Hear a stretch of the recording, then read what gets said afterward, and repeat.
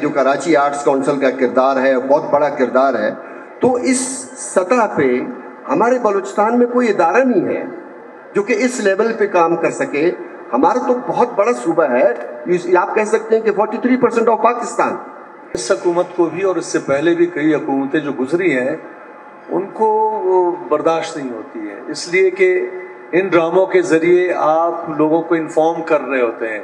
उनके बारे में, उनकी रिवायतों के बारे में उनके अजदाद के स्ट्रगल्स के बारे में, उनकी, उनके जो जनवन मसाइल हैं चैलेंजेस जो हैं ज़िंदगी के, ज़मीन से जुड़े, ज़िंदगियों से जुड़े तारीख से जुड़े और उसके बारे में लोग आगाह हो जाते हैं। और जब आगाह लोगों की तादाद बढ़ जाती है तो सवाल उठते हैं। इस रीजन की जो असल तारीख है, जो असल हीरोज हैं, जो लड़े हैं, जिन्होंने मजामत की है, उनको सामने आना चाहिए। हम उसने कहा, कल मैं एक मिलियन लोगों को खामोश कर दूँगा।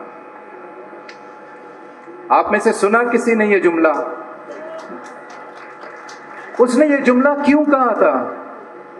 उसने एक कौम के जर्फ को चैलेंज किया था। उसके सब्र को चैलेंज किया था। उसके मेहमान नवाजी को चैलेंज किया था। उसके अकदार को चैलेंज किया था।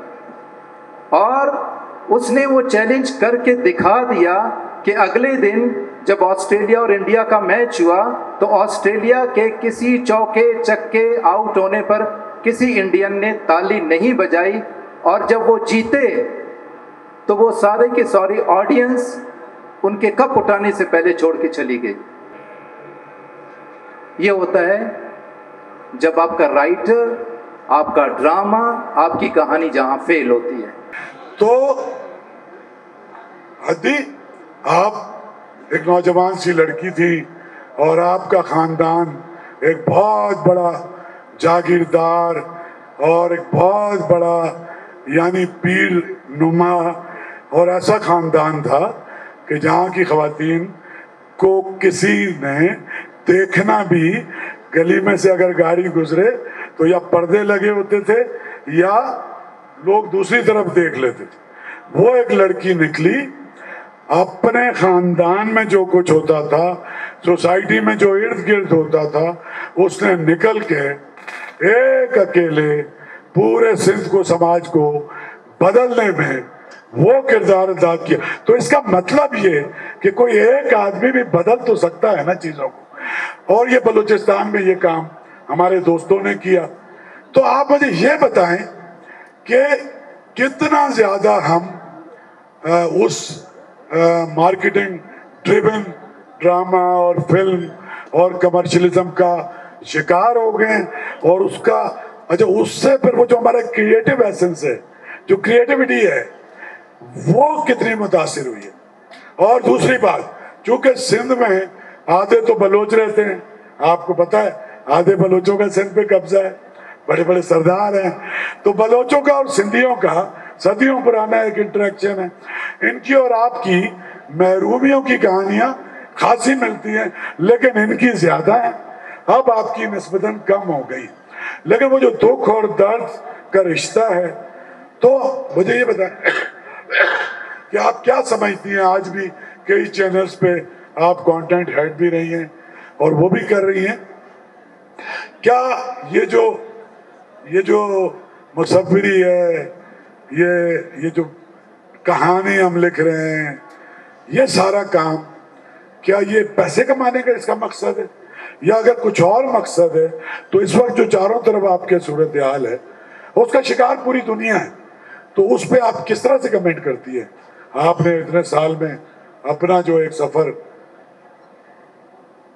मैंने जो सफ़र शुरू किया, वो तो पीटीवी का दौर था। लेकिन आपके सवाल का जवाब ये है कि मीडिया, इलेक्ट्रॉनिक मीडिया जो है एंटरटेनमेंट चैनल्स जो हैं, बड़े एंटरटेनमेंट चैनल्स जो हैं प्राइवेट सेक्टर के, या यूँ कहें कि प्राइवेट सेक्टर के चैनल्स जहाँ से शुरू हुए हैं, इनमें ये सब उमूमन कराची बेस्ड है। उसके बाद जो जफ़र ने मार्केटिंग की बात की उसमें आ जाता है जो आप सबको पता है उस बात का। उसमें आ जाते हैं आ जाता है रेटिंग का प्रॉब्लम अब रेटिंग है क्या? इसके मीटर्स हैं जो कराची के घरों में लगे हुए हैं। कराची के लोअर मिडिल क्लास छोटे इलाकों में आ, ये आ, आ, मीटर्स लगाए गए। यहाँ से ये कहानी शुरू हुई। वहाँ से रेटिंग को कलेक्ट किया जाने लगा। वहाँ से देखा जाने लगा कि वो ऑडियंस जो है, वो व्यूवर जो है, वो कैसी कहानी देखना पसंद करता है। अब ज़ाहिर है, जब आप कराची की गलियों में मीटर्स गलियों में बने घरों में जब आप मीटर्स लगाएँगे तो वहाँ का जो व्यूवर है, वो अपनी कहानी सुनना चाहेगा। वो कहानी सुनना चाहता है बेरोजगारी की उसकी बेटियों के रिश्ते नहीं आ रहे वो कहानी सुनना चाहता है। उस, उसका प्रॉब्लम शनाख्त नहीं है। उसका प्रॉब्लम मुआशी मसाइल है। तफरीक है समाज की। तो वो वो कहानियाँ रेटिंग लेकर आई और यूँ ये सिलसिला आगे बढ़ता चला गया। जहाँ तक ज़मीन से मुतल कहानियों की बात है वो सिलसिला मुनकता भी यहीं से हुआ कि पीटीवी का जो व्यूअर था, वो पूरे पाकिस्तान में मौजूद था। उसको रेटिंग की ज़रूरत, वो रेटिंग के हवाले से नहीं था। वो गाँव में था छोटे छोटे देहातों में था, हर तरफ़ फैला हुआ था। यही वजह है कि पीटीवी के ड्रामों ने समाजी तौर पर, कम से कम मेरा तजुर्बा ये है कि सिंध के समाज पर, इसका क्रेडिट सिर्फ़ मुझे नहीं जाता है। सिंध के मुख्तलिफ़ राइटर्स ने सिंधी में भी जो ड्रामे लिखे जिन्हें खैराती तौर पर आ, उस ज़माने में हमें इलाकाई ज़बानें कहा जाता था। बलोची को सिंधी को ये सारी ज़बानें इलाकाई और खैराती तौर पर आधा घंटा पीटीवी पर दिया जाता था। मगर उस आधे घंटे में सिंधी अदीबों ने जो सिंधी ड्रामे लिखे और ज़ाहिर उर्दू सेक्टर पर अब्दुल कादिर जुनेजो ने भी लिखा, कारोकारी, आपको पता है, बलूचिस्तान के लोगों को कारोकारी कितना बड़ा मसला आज भी मौजूद है। इन तमाम मसाइल पर जब लिखा गया तो सिंध की सोसाइटी पर उसने बहुत गहरा असर छोड़ा, जिसके नतज आज हम देखते हैं। मैं हमेशा आपके साथ एक वाक्य शेयर भी कर लूँ। यहाँ बहुत से बच्चे बच्चे यहाँ बैठे हैं और इसी कबायली निज़ाम से आपका ताल्लुक है।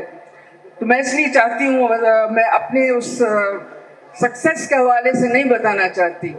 मैंने पहला ड्रामा जब सीरियल लिखा, जंगल, वो सिंध के जागीरदाराना समाज पर था और उसने जो भी असर छोड़ा, मेरी भी उम्र बहुत कम थी। कोई दो ढाई साल के बाद। अभी आपकी बात काट रहा हूँ। इस प्रोग्राम की होस्ट थी डॉक्टर उमा मीर क्योंकि इसने सबसे ज़्यादा काम कोयटा टीवी से किया अयूब कोसो साहब के साथ काम किया जमाल शाह साहब के साथ दो सीरियल किए और वो दो दिन से इतनी बीमार थी। आपको पता है कि टेबलेट और इंजेक्शन लगा रही थी। तो ये अगला आगे का जो सेगमेंट है, है। तो आपकी भरपूर तालियों में डॉक्टर हुमा मीर को बुलाता हूँ। शुक्रिया। वेलकम मैं आप बच्चों और बच्चियों के साथ ये वाक्य शेयर करना चाहती हूँ कि समाज पर क्या असर पड़ता है और फिर हम खुद क्या समाज में अलग से एक रोल प्ले करते हैं। राइटर नहीं एक आम शख्स। सो so, वो जागीरदारा निज़ाम पर एक कहानी थी जिसमें ऐसे किरदार थे ऐसी बच्चियों के कि जिनके वालदे उनकी शादियाँ नहीं करवाते ताकि जायदाद जो है वो कहीं बाहर ना जाए वगैरह। मैं दो दो ढाई साल के बाद अपनी एक दोस्त से मिलने गई। उसकी वालदा ने एक दो अपार्टमेंट्स छोड़कर किसी बच्ची को बुलाया, वो मुझसे मिलना चाहती थी। वो बच्ची अट्ठाईस साल की होगी। उसके गोद में दो साल की, कोई डेढ़ साल की, कोई इतनी छोटी सी बच्ची थी। उस बच्ची ने मुझसे कहा पूछा कि आपने मुझसे पूछा नहीं, मैं आपसे क्यों मिलना चाह रही हूँ? मैंने सोचा उस ज़माने में सब लोग मिलना चाहते थे, मैंने बात टाल दी। उसने मुझे बताया कि मेरी इस बेटी का नाम, या बच्चे, जो मैं नौजवान बच्चे बैठे हुए ज़रूर सुने। उस बच्ची ने कहा, मेरी इस बेटी का नाम, आपको पता है क्या है? मैंने पूछा तो कहने लगी कि इसका नाम है नूरुल हुदा शाह। मैं बड़ी परेशान हो गई। मतलब मेरे सर नेम समेत पता चला वो खुद भी शाह है। उसने कहा, आपने पूछा नहीं, मैंने क्यों ये नाम रखा है? मैंने पूछा, उसने जो बात मुझे बताई, उसने कहा, हमारी तमाम नस्लों में जायदाद की विरासत रोकने के लिए मेरी पुफियाँ और उससे पीछे और उससे पीछे शादियाँ नहीं की जाती। सब घरों में बैठ बैठ कर दीवारों के पीछे ख़त्म हो जाती हैं।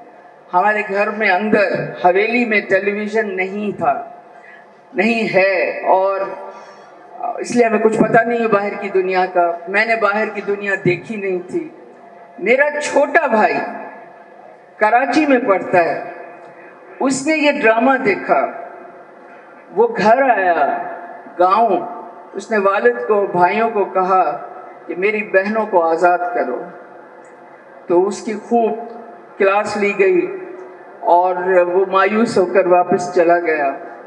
वो फिर आया और एक रात उसने मुझे कहा कि मैं और किसी बहन के लिए कुछ नहीं कर सकता। क्या तुम्हारा दिल नहीं चाहता कि तुम आज़ाद ज़िंदगी गुजारो? मैंने कहा, चाहता है। पूछा, क्या तुम नहीं चाहती कि तुम्हारी शादी हो? मैंने कहा, बिल्कुल चाहती हूँ। वो भाई उसने मुझे बताया कि रात के अंधेरे में जीप में बिठाकर, घर वालों से छुपाकर मुझे कराची ले आया। वहाँ मेरा खालाजाद निकाह का इंतज़ाम किए बैठा था। मेरे उसके साथ निकाह हुआ। मैं आज आज़ाद ज़िंदगी गुजारती हूँ। ये मेरी बेटी है। इसका नाम हमने ये रखा है। ये ये असर होता है। कबायली निज़ाम में, जागीरदाराना निज़ाम में, ये जो हमने मट्टी की कहानियाँ लिखी हैं, ये इसके लिए नहीं है कि हमें रेटिंग चाहिए थी। ये इसके लिए थी कि हमारे समाज की घुटन ख़त्म हो। ये मट्टी से जुड़े हुए हमारे लोग, जिन मामलात में फंसे हुए हैं, इनका शूर इन, ये शूर हासिल हो कि वो गलत हैं। इंसान की कैफियत का, जफ़र ने अभी जो कहानी की बात की, बात सिर्फ़ कहानी की भी नहीं है, मजलूम की कैफियत क्या होती है, वो बयान करना है। जालिम किस इंतहा तक जाता है, वो बयान करना है। जुल्म दिखाकर जालिम को भी झंझोड़ना है और मजलूम को भी झंझोड़ना है। सो ये शाह साहब अभी जो मिट्टी की बातें कर रहे थे तख्लीक की जो इंतहा है, जो महराज है तख्लीक की, चाहे परफॉर्मिंग आर्ट हो पेंटिंग हो, लिखना हो, जो भी हो, जब तक आप अपनी मट्टी से आप जुड़े हुए नहीं हैं, तख्लीक आप पर नाजिल नहीं होती है। तख्लीक आप खुद ज़मीन में बोते हैं, वहाँ से उगती है और उसके जो खुशबू है उसके जो फूल हैं, वो आप अपने समाज में बांटते हैं। सो, मट्टी से जब तक आप नहीं जुड़ते हैं, आप जहाँ भी हैं, अब मार्केटिंग में भी यही मामला आ गया है। मार्केटिंग वालों को मट्टी नहीं चाहिए। क्यों नहीं चाहिए? इस मुल्क की पॉलिसी में ये आ गया है कि मट्टी नहीं चाहिए। मट्टी के लोग नहीं चाहिए। मट्टी के लोग अगर चाहिए होते तो आज आपका हमारा ये हाल ना होता। हमारी ज़रूरत नहीं है। लोगों की ज़रूरत नहीं रही। लोगों को उस दायरे से निकाल कर बाहर कर दिया गया है, जो जिसका नाम मट्टी के लोग कहें आप आवाम कहें। अब मामला ये आ गया है कि आप किसी न किसी ऐसे राग रंग में उलझाए रखो कि लोगों को अपने मसाइल का एहसास ना हो। तो ये इस मामले को बड़ी सपोर्ट है। लेकिन मैं अपनी बात ख़त्म करने से पहले ये ज़रूर कहूँगी कि इस वक्त इंक्लूडिंग ज़फ़र महराज इस वक्त बहुत से ऐसे ड्रामे लिखे गए हैं। कुछ चैनल्स ने हिम्मत की है। कुछ चैनल्स ने अलग रास्ता पकड़ा है। उन्होंने मसाइल को पकड़ा है, उन्होंने मट्टी के लोगों को पकड़ा है, उन्होंने उन कहानियों को पकड़ा है। उन राइटर्स ने, कुछ राइटर्स ऐसे भी हैं जो हैं ही मट्टी के बने हुए तो वो लिख रहे हैं। और वो चीज़ें अब सामने आ रही हैं। पैसे के अलावा भी अपनी ज़िम्मेदारी के बारे में सोचा जा रहा है और मैं समझती हूँ कि इसका रिस्पांस आप लोगों की तरफ़ से ही आएगा तो ही इसमें कामयाबी होगी। बहुत शुक्रिया जी बहुत शुक्रिया नूरुल हुदा शाह साहिबा। आपने बेहतरीन ड्रामे लिखे हैं पाकिस्तान टेलीविज़न के और उस दौर में कि जब बहुत सारी पाबंदियाँ भी थी और सेंसरशिप सख्त थी और उस ज़माने में आपने ऐसे ऐसे मौजूद को छेड़ा। ऐसे ऐसे मसाइल की तरफ़ निशानदही की और इस कदर खूबसूरती और शाइस्तगी के साथ ढके छुपे अल्फाज में जिसका असर मेरा ख्याल है कि बहुत ज़्यादा हुआ, क्योंकि मीडिया बराह रास्त लोगों के जहन दिल पर असर अंदाज होता है। हमारे इस पैनल में बहुत बड़े फनकार और राइटर मौजूद हैं और कोयटा एक ऐसा शहर है कि जहाँ के टेलीविज़न से बेशुमार ड्रामे नशर हुए, प्रोग्राम नशर हुए, बच्चों के प्रोग्राम और ड्रामों के हवाले से जो तारीख साज कामयाबी इस सेंटर को हासिल हुई है, उसकी मिसाल मिलना मुश्किल है। चाहे वो तारीखी सीरियल पाले शाह हो, जिसमें जमाल शाह साहब थे, बारिश के बाद में भी जमाल शाह साहब थे। इसके अलावा धुआँ एक बहुत मकबूल सीरियल था। अयूब खोसा साहब के साथ मैंने बहुत ड्रामों में काम किया। एक दास्तान शहदाद महनाज ड्रामा था, जिसमें आप थे, जी, नैयर नैयर एजाज थे। उसके अलावा गर्द बाद एक सीरियल था नुसरत ठाकुर साहब लाहौर से तशरीफ़ लाए थे और नुमान एजाज भी उसमें थे। अब जो है, अयूब, आपको तो मैं कहती हूँ कि आप तो कोयटा सेंटर की पहचान है कि आपको देख के एकदम लगता है कि जी, ये कोयटा की नुमाइंदगी हो रही है। और अब जो है, वो आप इतने फार मुझे नज़र नहीं आते हैं जैसे कि पहले थे। क्या है आप कोयटा से मूव कर गए हैं? कुछ ड्रामों से बेरुखी बरत रहे हैं? क्या है? आ, सबसे पहले तो आ, मैं अहमद शाह साहब आपका बेहद मशहूर हूँ ब्यूटम्स का बेहद मशहूर हूँ और इसमें जो जो भी इदारे इन्वॉल्व हैं उन सब का बेहद मशहूर हूँ कि उन्होंने कोयटा में एक खूबसूरत सा एक ये एक समा बाँध दिया है। और यकीनी तौर पे हम अगर बलूचिस्तान के हवाले से बात करें अगर कोयटा के हवाले से बात करते हैं तो आप यकीन जानिए कि हम तरसते हैं इस तरह के माहौल के लिए। क्योंकि हमारे ख़ास तौर पे जो यंगस्टर्स हैं यहाँ पे बच्चे और बच्चियाँ हैं आ, इनके लिए ये बहुत ज़रूरी है ताकि जितने भी एक्सपीरियंस यहाँ पे लोग मौजूद हैं वो उनको सुने और उसको सुनने के बाद फिर वो अपने लिए कोई एक रास्ते का इख्तियार करें। आपने पाकिस्तान टेलीविज़न की बात की और पाकिस्तान टेलीविज़न में ख़ास तौर पे आ, कोयटा सेंटर की बात की। यहाँ पे ज़ाहिर है जमाल शाह साहब तशरीफ़ फरमा है ज़फ़र महराज साहब हैं और मेरे सामने भी यहाँ पे काफ़ी दोस्त ऐसे बैठे हैं कि जिनकी बहुत ज़्यादा कंट्रीब्यूशन है कोयटा टेलीविज़न के लिए। तो मैं खराज तहसीन भी पेश करना चाहूँगा पाकिस्तान टेलीविज़न को, पीटीवी को और ख़ास तौर पे पीटीवी कोयटा को। कि यहाँ पे जितने भी डायरेक्टर्स ने काम किया या जितने भी कोयटा के राइटर्स ने काम किया या जितने भी यहाँ पे जो टेक्नीशियंस थे या कैमरे पे, जैसे मैं ख़ास तौर पे इकबाल राही का नाम लूँ या शकील अदनान का नाम लूँ, ये वो लोग हैं जिन्होंने हमने सबने मिल के और अगर हम डायरेक्टर्स का नाम लूँ जिसमें तारक महराज और दोस्त मोहम्मद किशकोरी नवाज़ मक्सी बाहर से आए हुए न- ठाकुर काजिम पाशा। काजिम पाशा शाह इकबाल लतीफ़ साहब। तो इकबाल लतीफ़ तो- अहमद साहब पे इकबाल लतीफ़ तो ये समझ कि पाइनियर्स में से। हम ज़ाहिर है अगर मैं पीटीवी की जब मैं बात करता हूँ तो हमारा ख़ास तौर पे बलूचिस्तान का जो कल्चर है या हमारे जो एक एक्टिंग का अंदाज या हमारा एक सिलसिला है उसको मुतारफ़ कराया पीटीवी ने। अब कहीं जाके जैसे बात हुई थी कि पीटीवी भी थोड़ा सा स्लो डाउन हुआ है, उस तरह से काम नहीं हो रहा। लेकिन हमारी एक जस्तजू रहती, क्योंकि हमारे पास ले दे के बलूचिस्तान में एक ही इदारा है, और वो है पाकिस्तान टेलीविज़न कोयटा सेंटर की इमारत। पिछले दिनों में, या बल्कि पिछली हुकूमतों में ये भी एक बात छेड़ी गई कि जनाब, इतनी बड़ी बिल्डिंग का क्या करना है?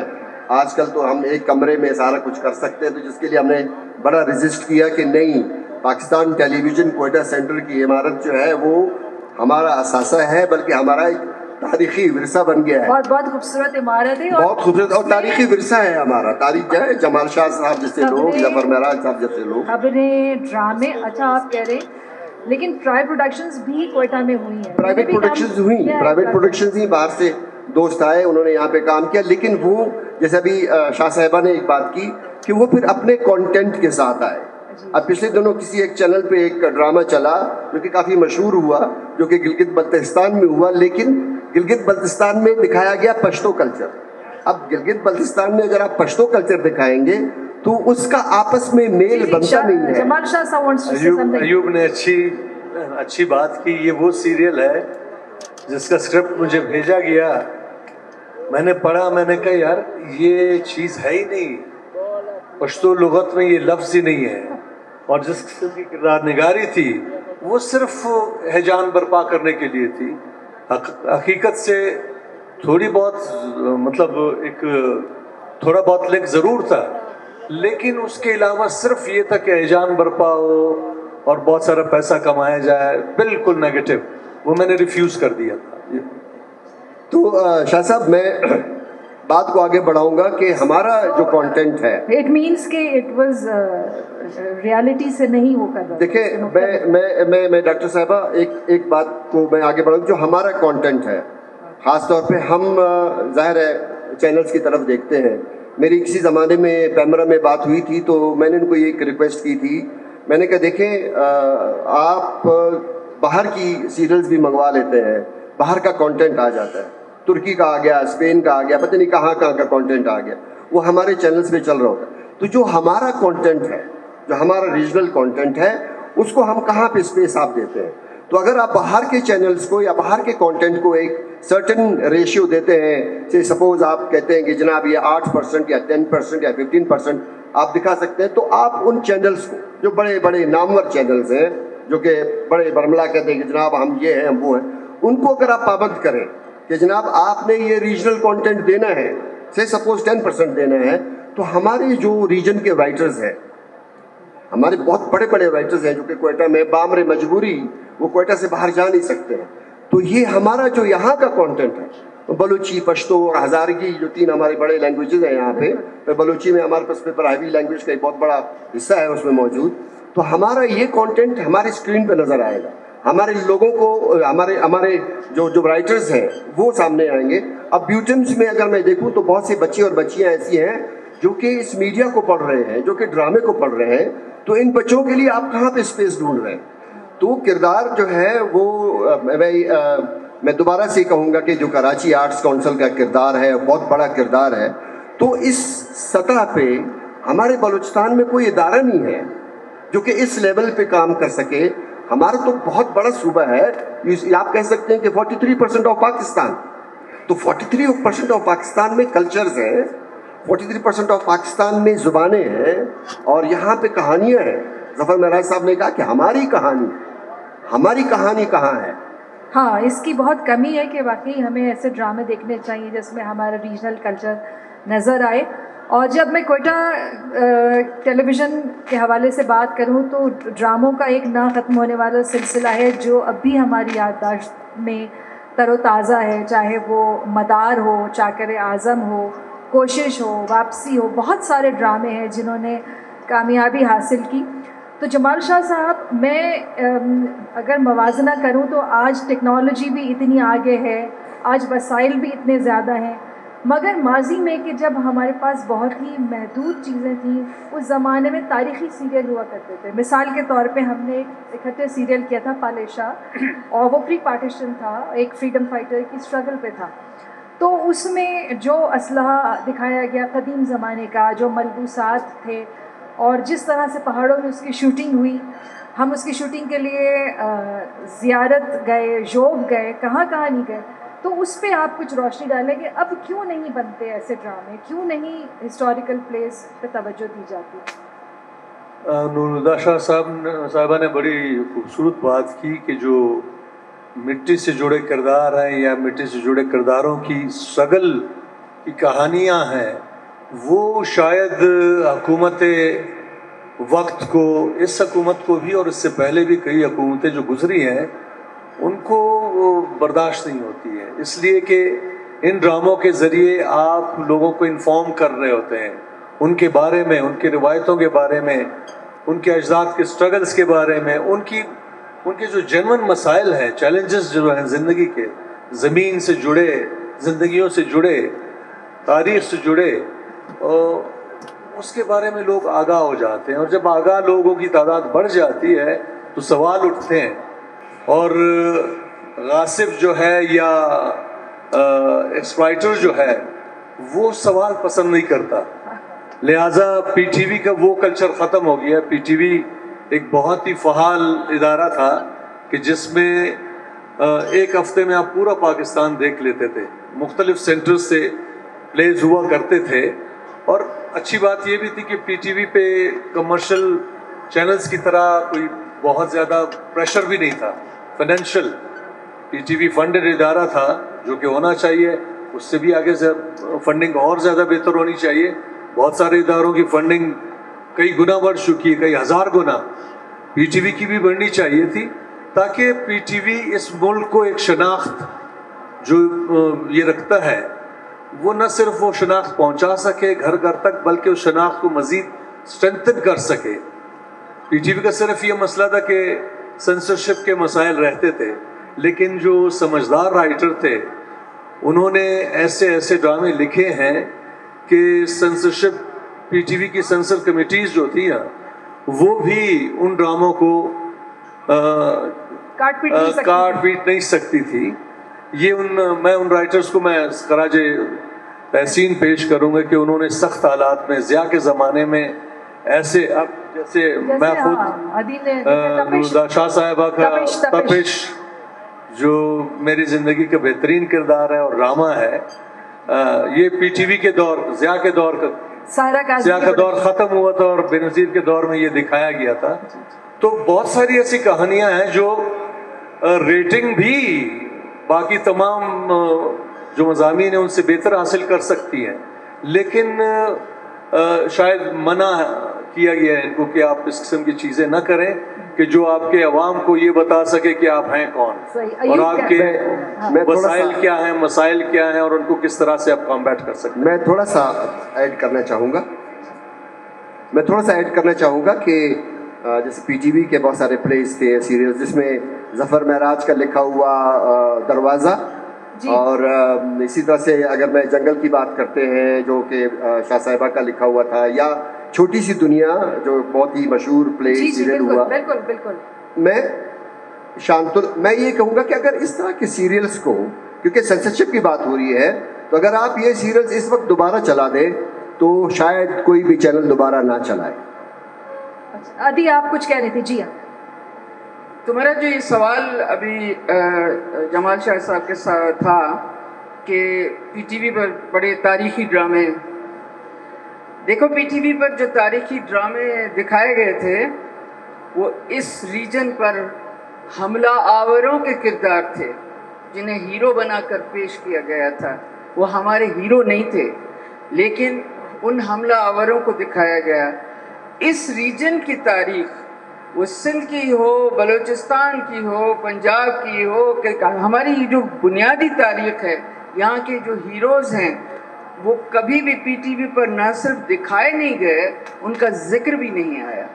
मोहम्मद बिन कासिम का दिखाया दौर दिखाया गया या जो भी दूसरे हमारे कासिम जलाली साहब ने कई ड्रामे किए ये सारे हमला आवरों के के ये वो तारीख थी शाहीन जिसे हम पर मसलत किया गया था। ये हमारी तारीख नहीं थी।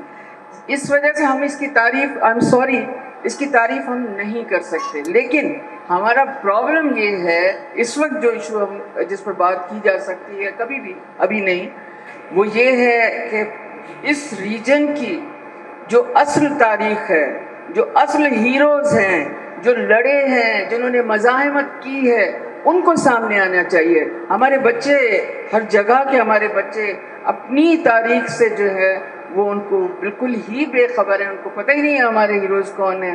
वो इम्पोर्टेड हीरोज़ को जो है अपना हीरोज़ समझते हैं। जी जफ़र महराज साहब कलम में बड़ी ताकत है और कहते हैं कि अगर स्क्रिप्ट अच्छा हो तो ड्रामा मज़बूत होता है। और बेसिकली कॉन्सेप्ट भी यही है कि अच्छा डायरेक्टर और अच्छा स्क्रिप्ट किसी भी काम ड्रामे की कामयाबी की ज़मानत होते हैं और अच्छा डायरेक्टर किसी नाकाम या कमज़ोर एक्टर से भी काम करवा लेता है।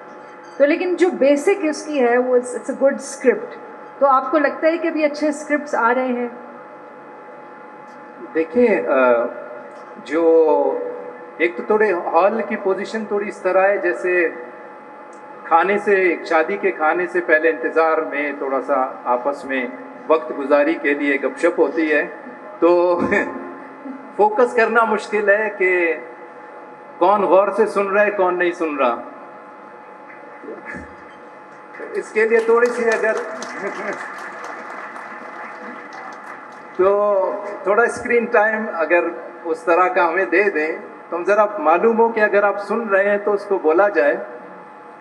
देखिए, मैं इन बच्चों को एक और कहानी सुनाना चाह रहा हूँ।